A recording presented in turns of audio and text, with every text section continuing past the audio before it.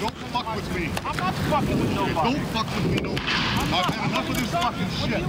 I'm in it because I'm the fucking manager of this fucking team, that's why I'm in it. I don't you don't want to be here, get your fucking ass out. I'll. I'm gonna do it. I'm gonna keep keep I don't give a fucking I'll get it. Everybody know that you're fucking pissed off. So let's get the fucking shit over with right fucking now.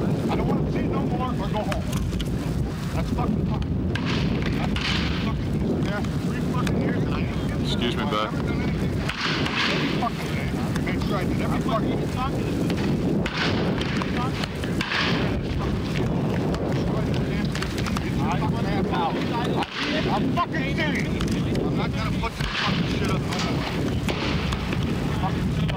But I do know one thing, I am the goddamn manager, and I'm gonna run this goddamn team.